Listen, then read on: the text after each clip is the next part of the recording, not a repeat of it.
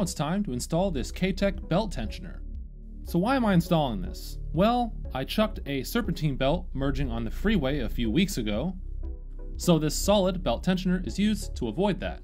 It's designed for sustained high RPM use and is found in most of all the spec Corvettes.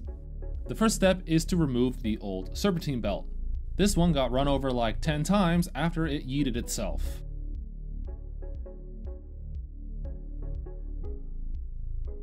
The tensioner's M12 bolts are removed.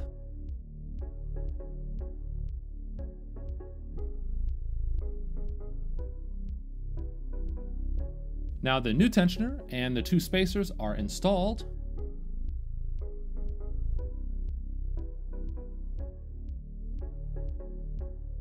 So the drawback of this tensioner is that the belt tension itself needs to be checked every few races. Not a big deal for me, but may be a big deal to other people.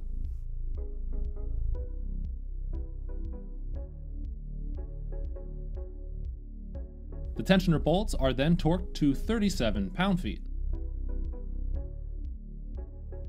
I found that a belt that was one inch shorter fit a little better since I have a 10% underdrive damper. The belt is routed and then looped around the new tensioner.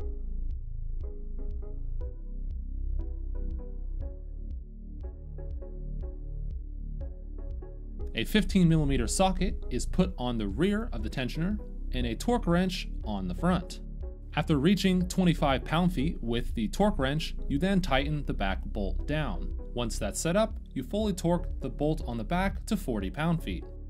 So this catch can is almost in the way of this new tensioner, but that won't be a problem because I'll have a new video soon installing a different catch can.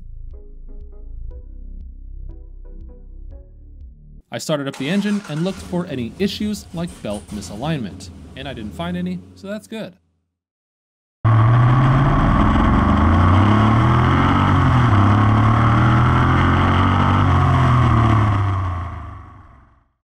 If you stayed this long, thank you for watching this video. I know I've been a little bit lazy with videos of late. I've gotten very busy and then I've started running out of ideas for videos.